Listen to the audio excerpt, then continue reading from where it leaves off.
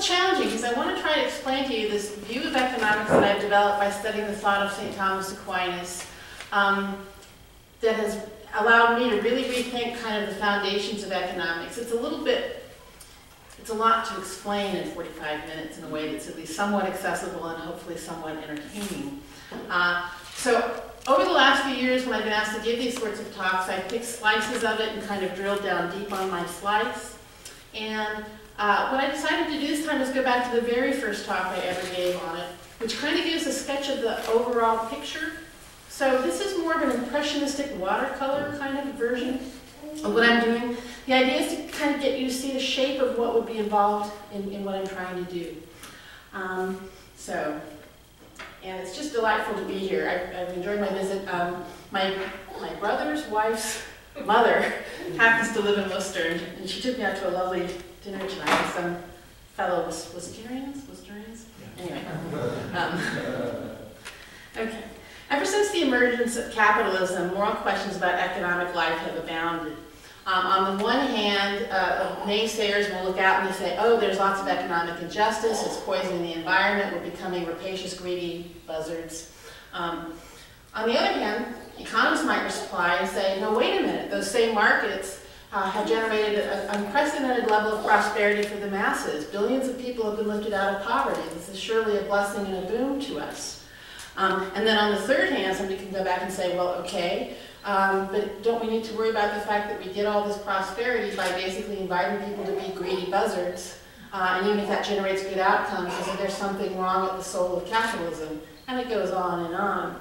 Um, now, as I've already indicated, I'm an economist turned theologian. This actually was written into my DNA. When I was seven or eight, uh, for Christmas, I wrote down to Santa, Dear Santa, I really, really, really, really, really want a Monopoly set. and I would like the Child's Illustrated Bible. So, um, I think at the end of the day, the common thread was they both had pretty colors in them. But anyway, um, I've always actually been interested in mammon, God, or mammon.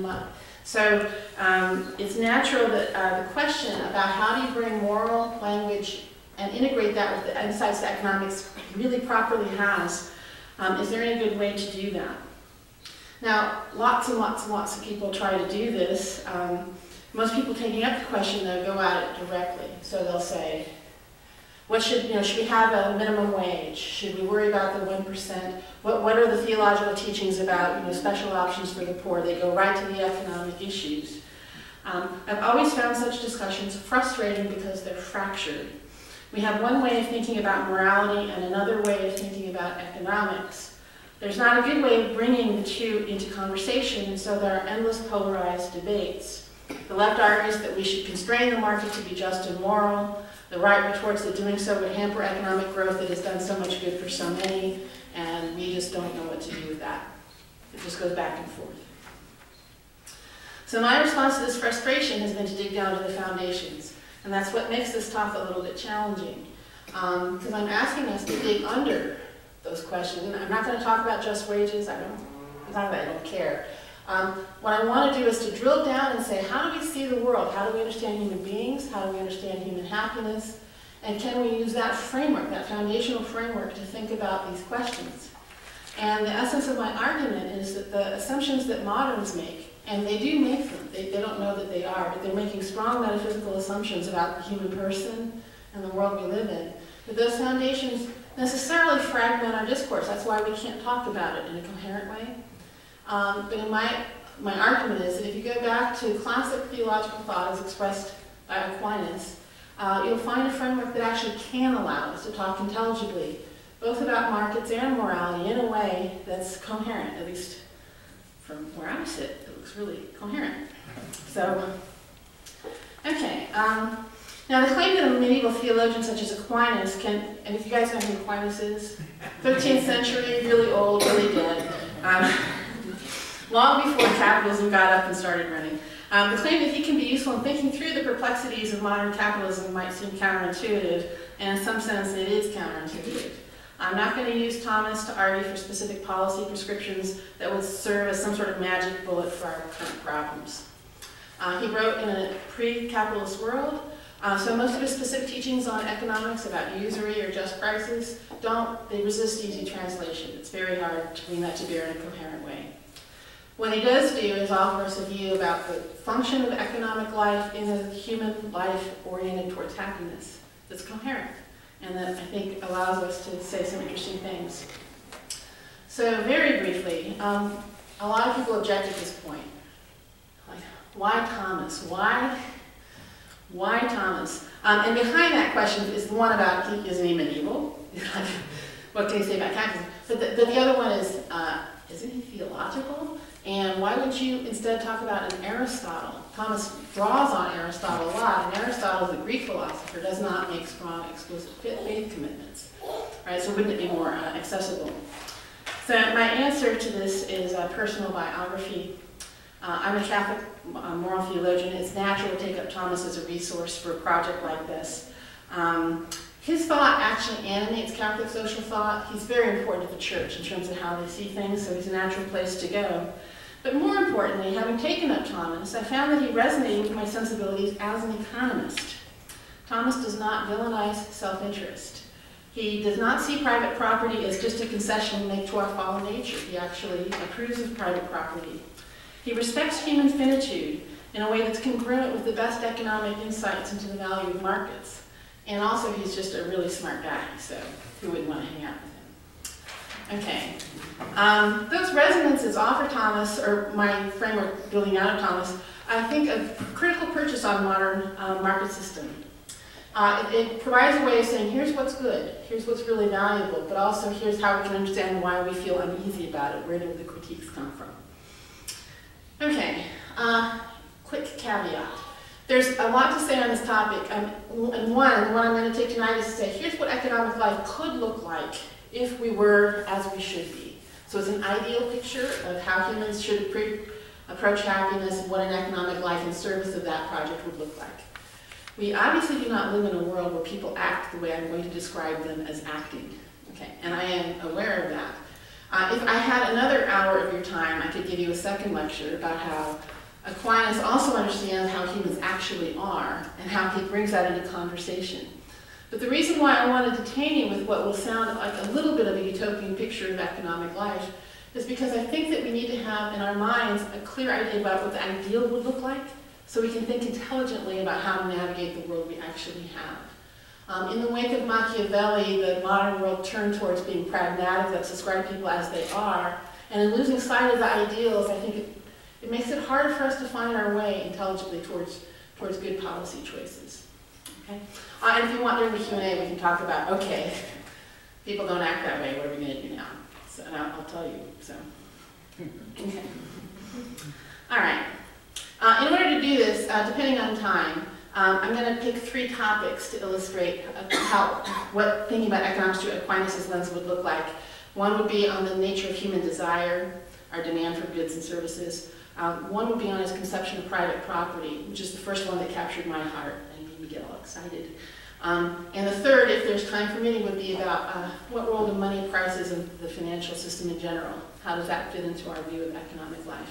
Um, I am going to drop that if I don't have time, so we'll see. But in order to do this, I have to give you some sense of those foundations I talked about. We have to drill down. So you're going to get kind of a weird abstract talk for about 20 minutes here.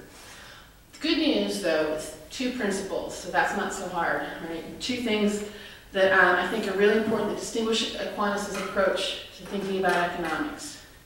Number one, we need to think about uh, our activities as ordered to an end. Completely innocuous claim. When you get up out of bed, you have a purpose. You have something that you're trying to do. Um, so the technical word drawn from Aristotle would be that we have a telos, or goal. Um, and that the best way to think about economic life is in light of that goal, telos. The second key principle or foundational uh, thing that matters and this is where we get theological, is that it helps to think about creation uh, as an analogical reflection of God. So this is hardcore theology, but it turns out it matters for how we think about ordinary things like buying a quart milk at the market. Okay. So first of all, the view of life as ordered or teleological. Okay, in the modern world, we tend to think of human life as being divided into various spheres or roles. We enter into the labor force as workers and into the marketplace as consumers. We go home to our families as husbands or wives, parents or children. We interact socially with friends. We worship as fellow believers. Each of these spheres has their own logic, and we struggle to integrate our various roles into a coherent role, whole. In the course of our various activities, we pursue diverse goods, material wealth, sustenance, pleasure, health, love, friendship, good works, community, faith, and so on. What we lack is a way of ordering those diverse goods, and this can lead to tensions. One of the tensions most salient to my discussion uh, is the tension we might feel between pursuing virtue, trying to develop ourselves as good, excellent human beings, and pursuing material well-being. Now, most of us would like to think of ourselves as good people. Uh, yet it sometimes seems that being good can be a disadvantage when it comes to pursuing material wealth. A young lawyer might want to provide legal services to the poor, but feel like he cannot bypass an opportunity to earn a substantially higher salary by working for a corporation. A manufacturer might want to produce goods of the highest quality, but feel like he has to produce shoddier goods if doing so is the way to maximize profits. Richard Rich in A Man for All Seasons might know deep down that he has a calling to be a teacher, but feel compelled to pursue wealth and position at court at the expense of his own personal integrity. In such cases, we might trade off wealth for virtue or virtue for wealth, but however it goes, we have a feeling that there's a tension between the two goals. Now, on a Thomistic account, uh, these sorts of tensions just don't exist. Um, beginning with Thomas's, the aspect of Thomas's thought that does draw on Aristotle, we can observe that for Thomas, human life is ordered towards happiness. Um, but he understands happiness, the true happiness that can really fulfill us, as being not about what we have, but what we are. Uh, in uh, Centesimus John Paul II says, when we think about progress, we should think about progress in being, not progress in having. Now, and I spend all my time with my students trying to talk about this. Um, but I think deep down we actually know that trying to, trying to grow in human excellence really is the source of a lasting happiness in a way that trying to strive for a bigger house is not. Um, you can see it, I, I, don't know if they still run the ad, be all you can be, like that kind of an idea. Um, but the idea of human, of, of, pursuing virtue is that you want to be as fully human as possible. Um, the distinctive characteristic of human beings is that we are rational animals. And as rational animals exercising our powers, we should be capable, and, if, and you've met people like this, and I, by the way, you can look at me telling them that one, um, we should be capable of learning to desire what is appropriate for us to desire, using reason to deter, determine what goods really are worth pursuing, rather than feeling like we have to follow along some impulse. Um, we're able to have mastery over excessive fear or excessive risk-taking. We are able to treat others with justice and to use our practical reason or prudence to judge what is best to be done in a given situation. So virtue is the excellence of the person who can thoroughly enjoy food without succumbing to gluttony, the person who knows when to charge up the hill and when to order retreat, the person who readily accords to others what is due, the person who can determine how best to manifest that human virtue, in particular, in particularities of his or her circumstances. Okay. Um. Insofar as the core of human happiness lies in the exercise of human excellence, there is a lessened sense that life can be compartmentalized across spheres. It is true that our various social roles will place different demands on us, but those various roles are integrated in their common concern that we exercise our virtue, carrying out those roles in a humanly excellent way. Virtue reaches its apotheosis in our friendships, properly understood, as relationships in which we have mutual regard for the well-being and virtue of each other, and from this comes an account of community likewise ordered to virtue. This is our natural end, or telos, and ideally our lives will be integrated around the focal goal of achieving that telos. Now you might ask, okay, where does wealth fit into that? You talked about being this good, upstanding person, and not even upstanding, but a person who just exercises themselves well uh, in all aspects of their lives. Um, now, for Aquinas, wealth is unambiguously a good. He's not advocating we all go out in the desert in our hair shirts and renounce wealth. Um, he takes up the arguments of his day uh, when voluntary poverty was kind of a thing because of the Franciscans. And he argues that yes, it's actually perfectly fine to uh, renounce poverty, But he does not do that by despising material wealth. The whole tenor of his argument is, no, material flourishing is a good thing, but sometimes it might be proper to renounce it for a higher good. But notice that says that the material wealth is a good thing in itself. Okay. Um, he would look around our well-ordered communities and find much to applaud in them. So, material wealth sustains life, yay. Uh, it allows us to pursue the higher ends, and above all, it's natural to us. God created a world that promises us abundance, and this is good. He said so in the first chapter of the book. However, as Thomas's discussion of voluntary poverty also makes clear, material wealth is essentially an instrumental good. This is where the idea of ordering comes in. An instrumental good is something that's good because of what you want it for, not for itself. Okay? So I can love my brother for himself. That's the direct good. To love something instrumental is to love it for the sake of something. Okay, so wealth is not a good pure and simple. It is good insofar as we order it to or use it for good ends. Insofar as wealth leads us into vice, it's not a good at all.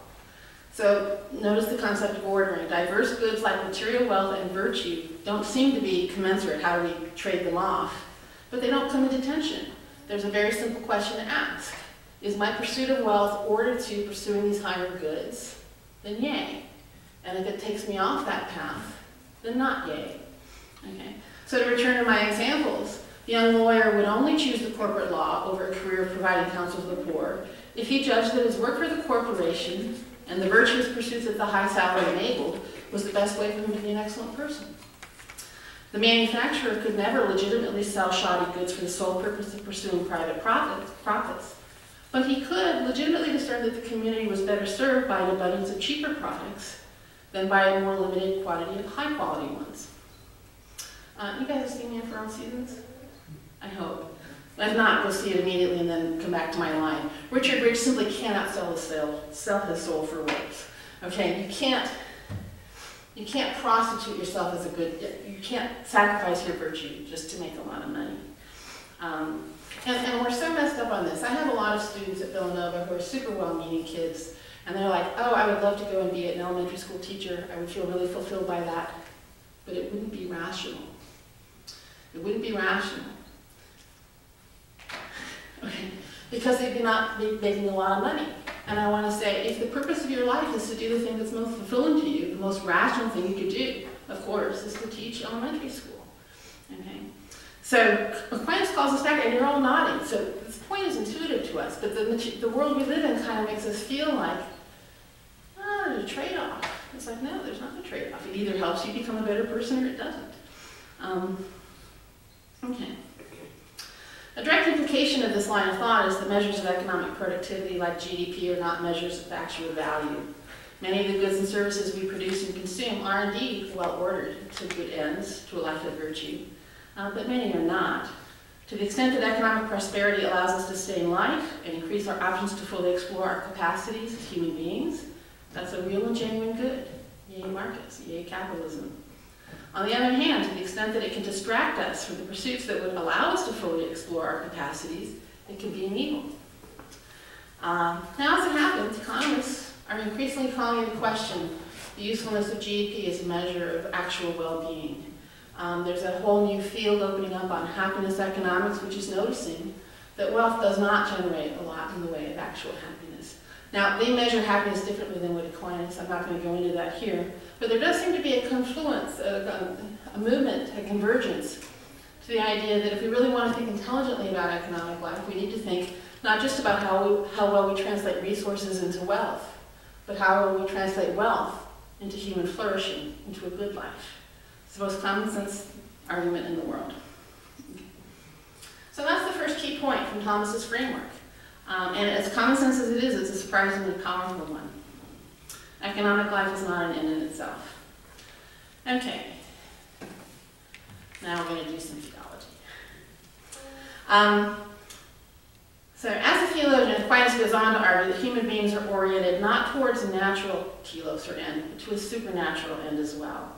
We are created in the image and likeness of God, which for Thomas means we are created for the purpose of knowing and loving God as God knows and loves himself. We will not fully realize this capacity this side of eternity, but as an understanding of human nature is ordered towards a loving union with God. Okay, now, I just did a quick move on you that you probably did not notice. Aquinas just gave you two ends. You have a supernatural end and a natural end. And I just spent the first part of this lecture saying that we should have our lives ordered to the one end of human excellence. We went from one end to two ends. Did you notice that? Um. Okay. Um, we need to figure out how these two ends are related to one another.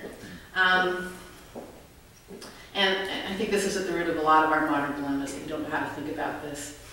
Uh, the, the, question how to balance our sense that created good is genuinely good, excuse me.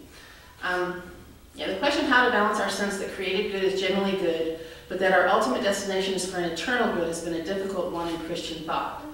Okay, how do I relate the fact that I know my ultimate happiness is in the beatific vision in heaven with the fact that I also want to be happy in this life? Is life but a shadow that ultimately means nothing in light of the sweet hereafter? Our modern sensibilities tend to veer away from that thought on the perfectly sensible ground that creation here and now is a genuinely good good, and there's something faulty with the mode of thought that dismisses it as an illusion or a deception. Um, but if we simply focus on the temporal good that is present to us, it seems we must inevitably minimize the importance of God in our lives, lest God overwhelm our sense of the importance of the temporal good. You see my problem? If you have this enormous, huge good in heaven, how do you think about these temporal finite goods in a way that makes us still value the temporal finite goods? okay. The secular impulse of modernity is closely connected to the elevation of the temporal good to a question of ultimate concern. That is what we've done for the last several hundred years. This sort of bracket, and this is even true of believers. God is something else, and then there's this life here and now, and we focus on that. Okay. Now, Thomas's framework answers the question how to balance the two ends by seeing the relationship between God and creation as an analogical relationship. I would love to take you through the theology on this because it's beautiful. Um, but this, we're going to do a shortcut. Uh, we're going to, it, it starts with the doctrine of creation ex nihilo, that God created the world out of absolutely nothing. God alone is that which necessarily exists, and creation is a result of God's choice to share his goodness. Creation ex nihilo doesn't refer to a big bang sort of creation. Uh, it's rather the very beautiful notion that at every moment God is sustaining you in being, breath by breath, moment by moment. Okay. Um, our existence depends on God's active, ongoing, continuous choice to sustain us in being. Um, and more importantly, we're rooted in Him. Because God is the ultimate existence, all aspects of creation are not only sustained by Him, but rooted in Him. And by that I mean they reflect Him somehow. Because think about it, there's nothing apart from God for us to reflect. Any quality, any, any, anything that you see in this world or think of has to come from God because if He really created out of nothing, there's nowhere else for it to come from. If that's the case, the good life we pursue in temporal terms, day by day, has to be a reflection of our ultimate end in God. Temporal human flourishing is a foretaste of the beatitude we will ultimately know. That solution allows us to say that human flourishing is a very real good. It's a reflection of God's goodness, the one that is directly accessible to us here and now. To renounce that goodness would be to renounce the author of it. Okay? At the same time, because we are made for that infinite beatitude, we're not to mistake the temporal goodness for our ultimate good. It's a real good, but it's only a foretaste. It's a pointer. And the analogy I like to use is, um, and this is a little bit dated, I'm a little bit dated now. Um, used to be if you went around the world to go study abroad or something, and you had a honey, and the honey was here and you were over there, uh, you waited, trust me, you waited by the mailbox for the love letters to come right? And you get your love letters, and you would cherish those love letters, okay? And you would cherish those love letters because they came from your honey, because they exuded, they point to your honey, right? But they're not. You'd never mistake them for your lover? So the world is God's love letter to us. It's, it's a reminder of where we're to go, right? Um, but we would never ever mistake it for the thing we want. Okay. Now, why does this matter? Um, there's two immediate consequences to this. Uh, and the first one is a practical one that surfaces all the time. It's a reminder that human flourishing in, in our direct is our direct present access to something like the good we ultimately desire. That explains why suffering is so upsetting. If you see somebody who's suffering, who's poor, who's ill, they're deprived of that goodness, that flourishing that says something about God, right? So it's cutting them off of that source of goodness, and that's why we respond to it the way we do. So we're urgently called on to meet the needs of others, because that is a direct way to witness to God's goodness. If we did anything else, we'd be denying that God is good. Our neighbors, like us, are images of God, and we should urgently desire that they, like us, are able to know and love God as fully as a temporal creature might. And that's by flourishing now. That's as close as we can get. At the same time, if we remind ourselves that the ultimate good lies in God, it becomes possible to bear with patience the suffering we cannot avert. The latter is important because if we do not have that patience, the fact of overwhelming suffering can overpower us. It would seem to men that we give up everything of our own concern in pursuit of the alleviation of human ills, which are far larger than we can handle.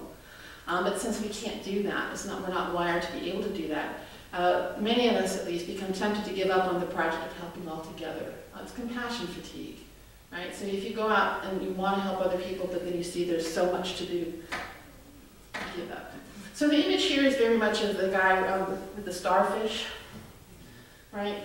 So you show God's goodness by re rescuing the starfish that have washed up on the ocean, as many as you can. But the fact that there's a whole beach millions of them that you can never get to is not a reason for you not to help the few that are, are available, right? Okay. It's a way that allows us to engage without being overwhelmed with despair. I find that very powerful. Okay, this is trickier. The analogical view also provides us a way of seeing the good of material wealth in a way that's not just as an instrument to our other ends. Um, so, as I've already discussed, the primary good of wealth is that it helps serve us and keeping our lives sustained and allowing us to pursue the cultivation of the higher human goods. Um, but created goods also bear witness to God's goodness, and if we can appreciate their good as witness, it allows us to detach ourselves somewhat from our tendency to see them in terms of how they can serve us. That view can help steer us away from the view of the natural world as merely an instrument of human desire towards a view that has proper reverence for the goodness we find ourselves. Um, this, by the way, for those of you who've read Laudato Si, I think it really underlies a lot of what the Pope has to say. But the idea is simply that we've gotten so used to looking at things as potential consumer goods that we forget to see the message contained in them, the way they reflect God's own goodness. And because we don't see that, we're not arrested by it. And that's part of why the world doesn't fulfill us as, as fully as it otherwise might. Okay, if we reflect a little bit further on this point, how can the infinite goodness of God be reflected in a finite world? Um, we can come to a better understanding of the nature of the created good. First, as Thomas argues, one way that God reflects his infinite goodness in finite creatures is by letting each individual creature reflect one facet of his simple, supreme, superabundant goodness. And the analogy I like to use for this uh, is to think of God's goodness as a white light. So it's simple, right? If you shoot that white light through the the prism of creation, it scatters out into, a rainbow of colors. Okay, so we go out and we see an apple and an orange. And the apple says something in its appleness about God that the orange in its orangeness cannot. Okay, so each created, qualitatively distinct thing speaks to God in its own unique way. Right? And that's the only, yeah. Does that make sense to you guys? So, okay. Um, the world is made up of an astonishing array of diverse goods, and collectively they tell us something about God that no one good could possibly tell us. But that means you have to appreciate them in their distinctiveness. At the same time, God is still one. So we've got all these diverse, qualitatively distinct goods, but they're ordered to each other. The universe is shot through with relationship that makes of it a coherent whole. Okay. Um, nature is a web of interconnections holding all these diverse goods into a meaningful whole that collectively gives the best witness to God's infinite goodness. Now, there are clearly lessons in all of this about the proper respect we should have for the environment as we pursue our economic affairs. I, I hope you can hear that. If I look out in the world and I see that each created thing, they're witnesses to God's beauty and goodness in a certain way, I have to respect it. And it also invites me to see it as a tangle of relationships, which means respect for the way things interact. Okay? And again, Laudato Si really, really brings this out. Um, in addition, it suggests an attitude towards our own relation with created goods, namely seeing them as a project and participating in God's creation by ordering goods that constitute our material life in a way that reflects the unity of our own lives. Now that's a mouthful. Okay, the aim is not just to get more stuff. The aim is to take a few of those beautiful diverse goods and order them well in a way that brings out their beauty and their harmony. Okay? So the, the, the image I like to use is that we should think about our choices in life as though we were painters. Right? How do we arrange a few select things well, rather than try to, you know, fill up a warehouse full of as much things as we can get. Okay.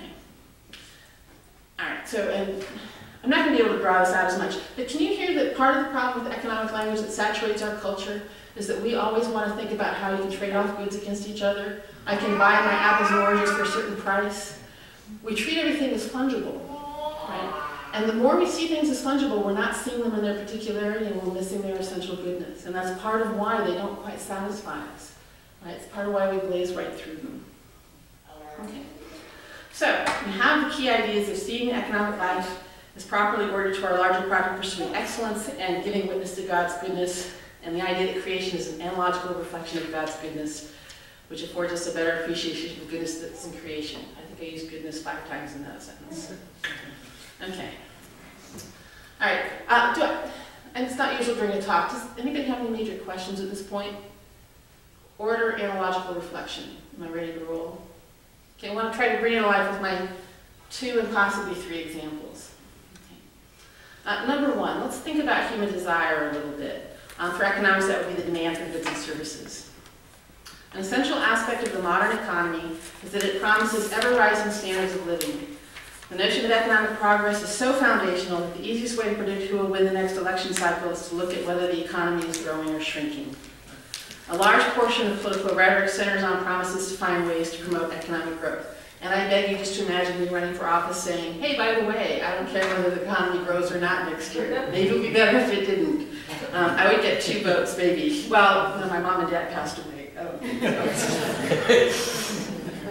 maybe my brother would vote for me. Um, did you say probably not? okay. Uh, at the same time, there's a culture unease with our materialism, right?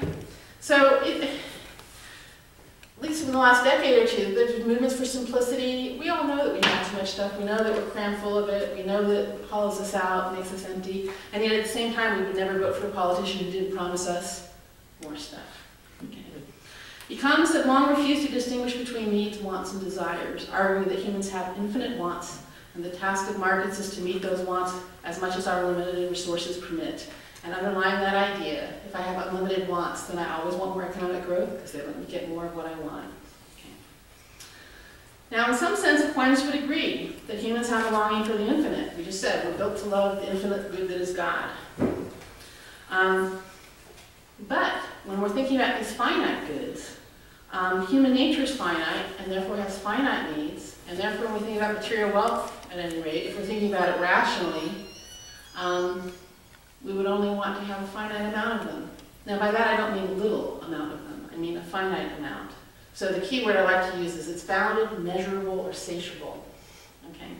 Um, basically, depending on your station in life and the goods you're pursuing in your life, you should be able to have a well-articulated sense of how much you need, such that you could say, above that, everything else is superfluous. Everything else is like water. Okay. Um, most people think that number is about $10,000 more than what they currently have. uh, and it's always just kind of $10,000 away. Now, Aquinas recognizes that humans can and do develop what he calls a disordered concupiscent desire for more.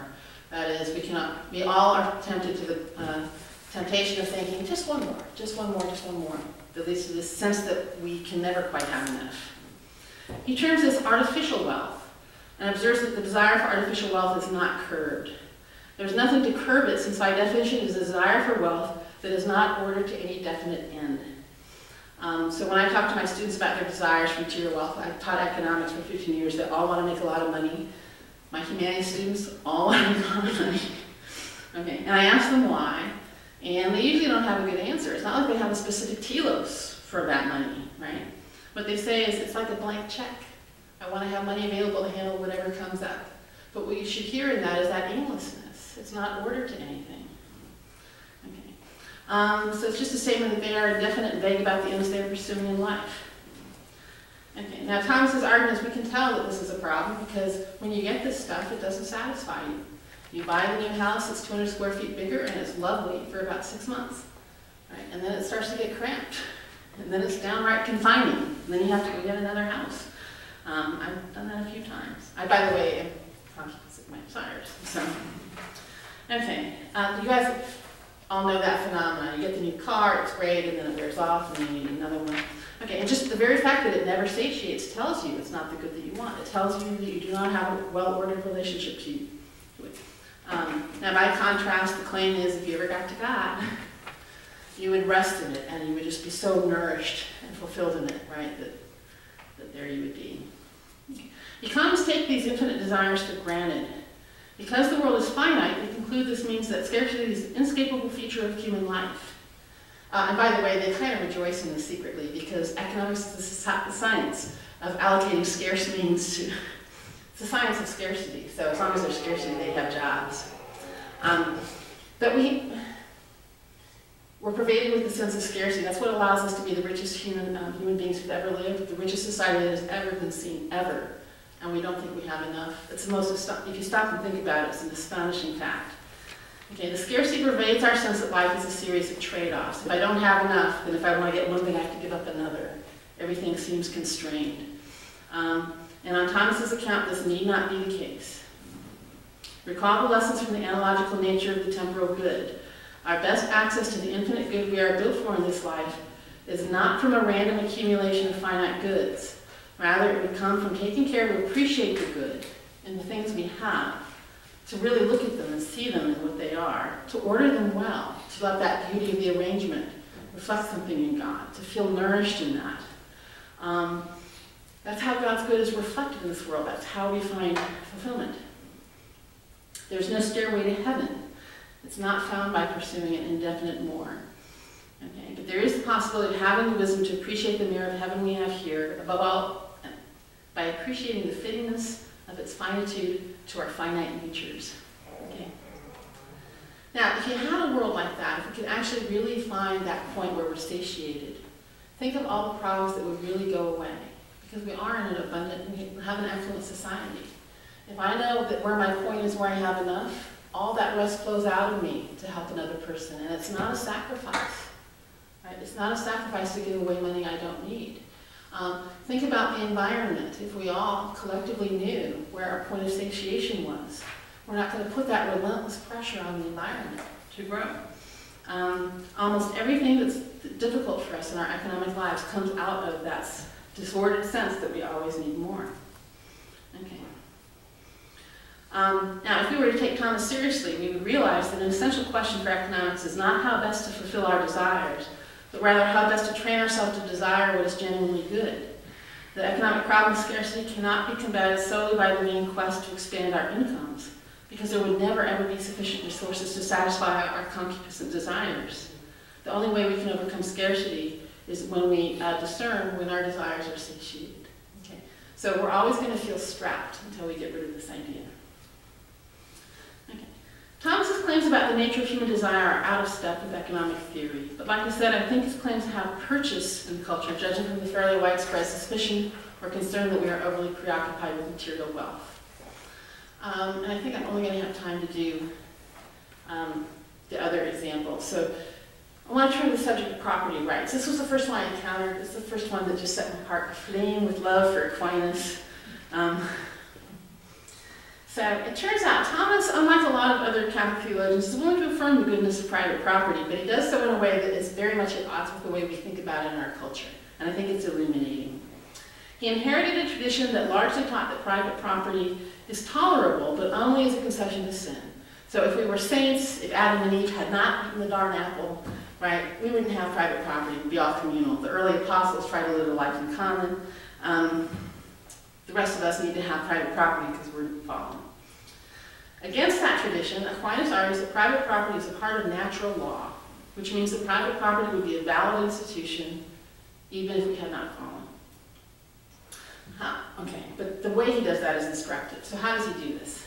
He says, look, let's think about private property in two different lights. There's two questions you could ask about private property. First, how do I use the private property? What are, what are the rules about how I spend it? How do I use it? And second, how do I manage it? How do I, how do I, how do I shepherd it? Um, now, with respect to that first aspect, how do I use it? He says, look, God gave the material world to humans in common, and the material world is, is meant to, order to, supporting human needs. Um, and since he thinks our own needs are finite or satiable, the real ones, the ones that are real, um, that means that anything we have above that properly belongs to others, right? In fact, it's such a strong obligation you'd almost be stealing from the poor if you consume beyond what you actually need. Um, so, it's very much in line with Catholic social thought's frequent reminder that there's a common destiny of all goods. What you own is yours, but it also really belongs to other people as well. So the second aspect that he comes up with an argument that's more explicitly affirming of private property. Um, here he's thinking about the private property that you own and manage. And he says it's actually perfectly natural and legitimate and just, and he gives three reasons for this. I'm actually taking them backwards, but number one, if we did not assign private property, we'd be likely to quarrel about how to divide up the goods. We've seen this at any kid's birthday party. That's mine, no, no, that's mine, okay. So if we didn't have private property, we would all be squabbling like that, and okay. This clearly is an argument for private property that says, yeah, it's a concession to human sin. We need to have private property because we're spoiled brats.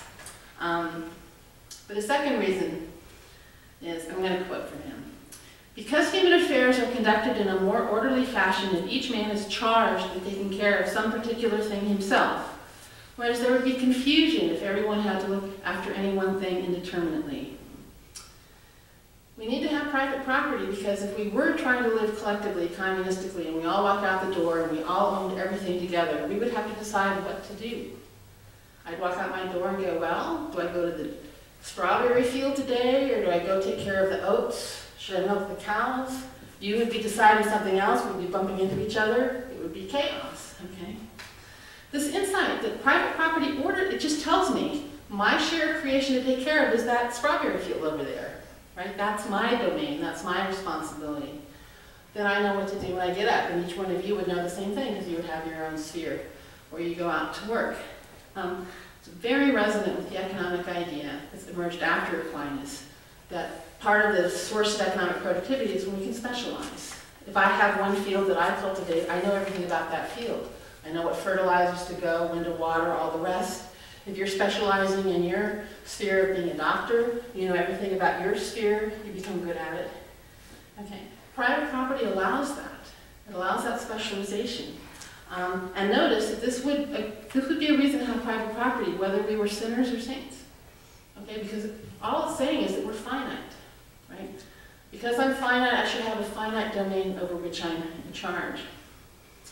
Okay, the third, and this is where the wrinkle is, he finally argues that private property is part of natural law because, quote, every man is more careful to procure what is for himself alone than that which is common to many or all, since each one would shirk the labor and leave to another that which concerns the community. Okay, when I first read that, as a person who's been in economics for all my adult life, I thought I was talking about incentives, right? The only way to get people to go out and work hard is if you tell them they get to keep what they earn. That's how, that's how people work. Um, and then I hit a wall because, but wait a minute. He just told me on that other ground, when I come to using wealth, I have to be prepared to share it with other people. I should treat it as though it was in common. So my head exploded. This was a big, huge meltdown that I had. Um, but I finally sorted it out. Um, first of all, it turns on that idea that I'm more careful to procure what is for myself when it comes to tending my own immediate needs. The rest is surplus or abundant and due for others. That's one way to cover. But the other one is, I think it's analogous to the point I just made. If I'm thinking about things from a God's eye perspective, there's all this creation, right? Private property lets me go out and care for one sphere of it. But then when I'm, I'm thinking about who do I take care of with the proceeds from that, it's natural for me to first think of the part of the creation God has entrusted to me, which is me, and then my family and my neighbors, the things that are close to me. So it's actually very natural for us to want to work a little bit harder to take care of ourselves. It's built into human nature. Okay? Now, notice this isn't an argument that I can be selfish at your expense. Right? It's seeing things in light of God. Um, Okay, I'm going to do this part just because it's beautiful. Um, you can. This is, this is this gets reflected in the way Thomas thinks about charity. He actually uh, sounds a little bit unchristian on this point. So charity is love, and because he's a good scholastic theologian, he takes up the question: What is the proper order of charity? By which he means we're commanded to love God, love our neighbors, and love ourselves. Which comes first? Right? What's the proper ordering? Uh, surprise, God comes first. You guys can figure that one out, right? Okay, so God wins hand down. He's the infinite good. We should all love God first, right? And yeah. And if we really knew who God was, we would do so naturally, spontaneously, it wouldn't even be a sacrifice. It would be the easiest, most natural thing in the world. Okay, so now it's down, so for number two, is it us or is it our neighbor? And almost everybody would think that a Christian would say the neighbor comes first and then ourselves. No, number two is me. I get to love me next, and then my neighbor. Now there's a trick here. Why would Thomas say this, right? Okay. Because he's thinking about that first love. If I really love God first and foremost, if God is my everything, and I try to love my neighbor more than me, I'm bypassing the part of creation through which I get to access God. My experience of God comes through me. Is that okay? If I try to love you more than me, I'm actually cutting God out of the picture. But notice that I'm not loving myself the way I ordinarily in my fallen state love myself, like, whoa, I'm so cool, you're so not.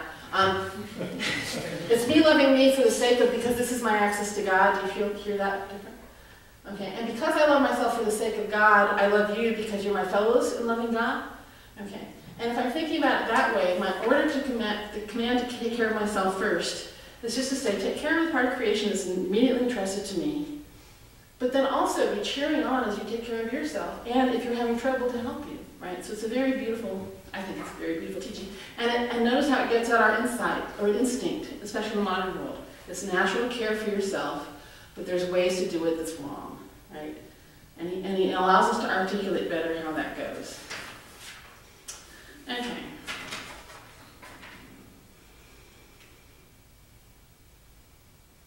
I'm just trying to see what else you need to hear from me before I move on. Um, Okay. Thomas's teachings allow us to value the economic insight that is natural for us to work for ourselves. Um, but Thomas challenges our understanding of that intuition in two ways. Okay, first, and this is just a repeat, just make sure that you hear this. Um, private property is good, it channels my natural interest to take care of myself and all the rest of it. Uh, but in light of the fact that I understand that my needs are finite and satiable, and that the rest is due to others, right? So it's always a contained use there. Um, but second, the steadiness of private property, the goodness of private property isn't because I did anything intrinsic. Notice that all the argument has been entirely in terms of what's useful. What's useful for me, what's useful for the community. There's never a moment in Aquinas where he says, oh, by the way, I worked for it, it's mine. Okay, we get that from John Locke in the modern world. His idea is I own myself. If I own myself and then I work with something, I'm mixing my labor and I naturally own that too. I built it, it's mine. Okay. Um, Okay, so why does this matter? Notice that it shifts the focus. Private property is not about what's owed to us. It's about what we owe to ourselves and to others. It's about how do I cultivate the creation, how do I cultivate myself for the sake of others, for the sake of God. The good of owning property is that it allows us to exercise our productive capacities. It's an exercise that's part of our cultivation of our human excellence. Um, but our use of goods is bounded, okay? and we have that communal sense where I share with others. Okay. Um, so it just seems to me it gives us a way to navigate a lot of our modern um, confusions about these questions. If I understand private property in that way, um, I can see that it's really good and fitting and natural, and that underlies a lot of the economic insights into the way markets channel people towards more productive ends. Right?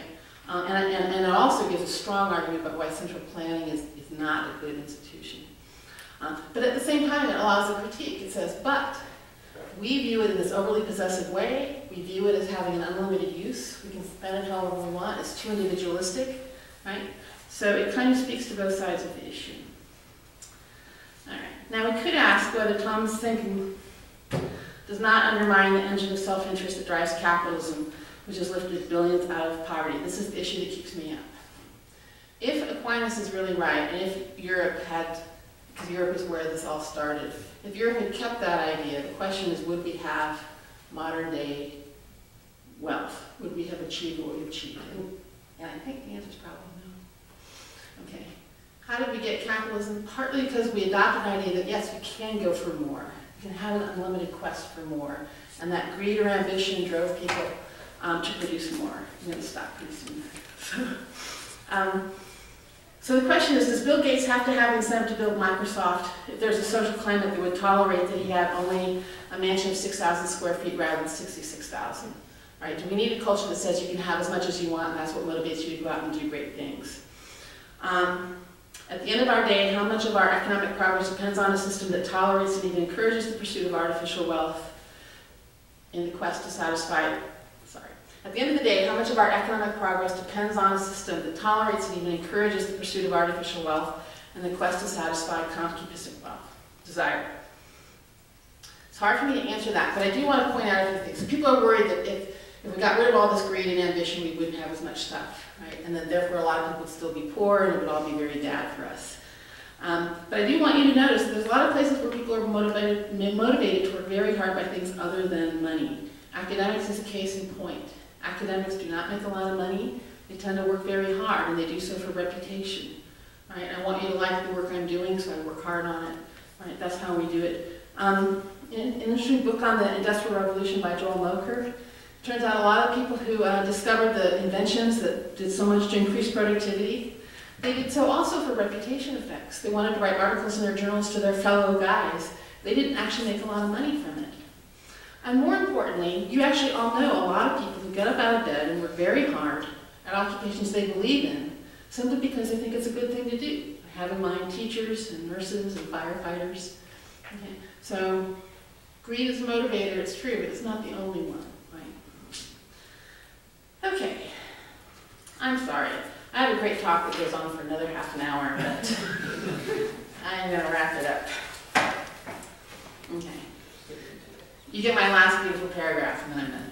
This is Thomas Thomas's message. It really is quite simple. Property rights and markets are meant to be in service of our economic activity, which in turn is meant to be in service of genuine human flourishing. When they perform their proper roles, they are well suited to human nature and to facilitate meaningful, economic progress.